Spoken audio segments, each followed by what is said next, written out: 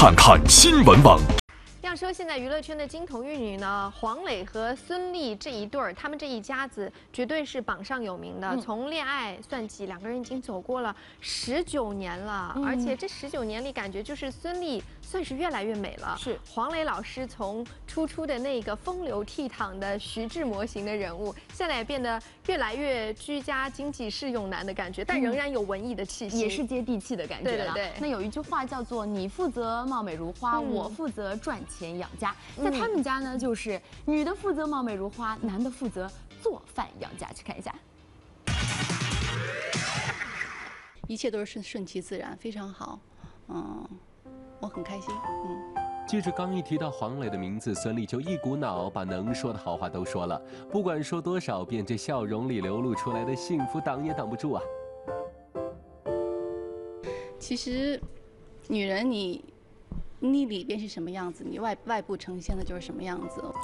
有了爱情的滋润，难怪那么多年孙俪依然如此貌美如花呀。她的样子，啊，呃，她是孩子的母亲，是我生命的伴侣。一九九五年，黄磊和孙俪的爱情在校园萌芽。两千零四年，两人在北京领证结婚。两千零六年，女儿黄多多出生。二零一四年，小女儿出生。从相识至今，已经足足十九年了。他为什么承认他是杀人凶手？十九年的岁月让黄磊从风流倜傥变成家庭主妇胖大叔，而孙俪却还是当年的那个孙俪。你看那个他之前演的那些戏，就是什么男闺蜜啊什么，其实他私下里跟跟跟那个戏里的角色挺像的，对，然后也是家庭感很强，很幽默，呃。喜欢讲道理，嗯，但从始至终两个人的爱情都不曾有变。说的也是，如今的黄磊，老婆孩子热炕头，不愁吃穿用度，自然心宽体盘了。